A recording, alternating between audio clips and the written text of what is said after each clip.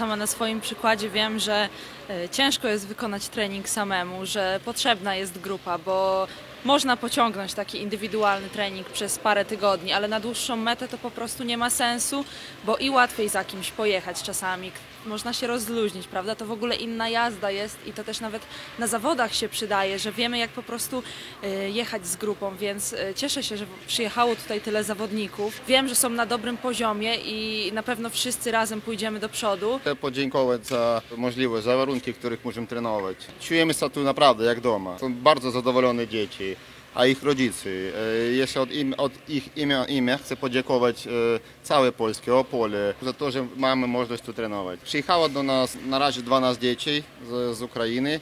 Mamy dobrych zawodników. Mamy, e, startowaliśmy w Ukrainie i na Olimpiadzie teraz, dzie- dziewczyny i chłop. Jeden mężczyzna, który był w Kanadzie razem z Madzią, z ich zajął 10 miejsce na 500 metrów. To też sukces dla Ukrainy. W tych warunkach, które w- mają w Opolu, naprawdę możemy tu zlepszyć w tych warunkach. Na tym ladzie, lad do końca macie jeden z najlepszych w Polsce.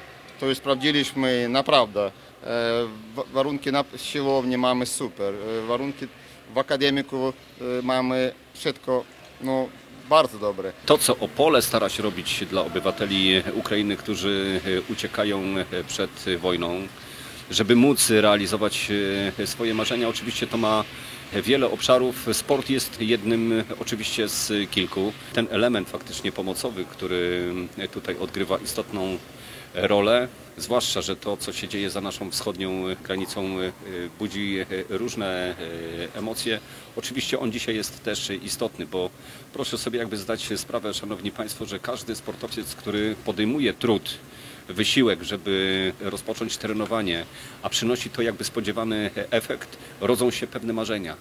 I to, co się dzieje dzisiaj na Ukrainie, w jednym momencie może te marzenia przekreślić. Natomiast to, że dzisiaj dzięki trenerowi, dzięki osobom z klubu, panu rektorowi i, i, i- osobom, które przyczyniły się do tego, że te osoby nam w jakiś sposób też poniekąd i zaufały i chciały tutaj przyjechać i znalazły tutaj faktycznie e, wsparcie, to powoduje, że wcale tych marzeń nie muszą przekreślać. Na pewno e, jest to ten taki model, który będzie miał wpływ na bardzo dobry rozwój polskich i ukraińskich łyżwiarzy jeżdżących w barwach AZS-u Klubu Uczelnianego Politechniki Opolskiej. Cieszę się, że Politechnika Opolska może znowu wyjść z, z kolejną inicjatywą, może pomóc w ten sposób uchodźcom z Ukrainy, że e, ci, te osoby, które uciekały, będą mogły teraz trenować tutaj, będą mogły działać w AZS-ie, korzystają z naszych e, domów akademickich, ale też jeżeli będą chętne, to jak najbardziej zapraszamy też oczywiście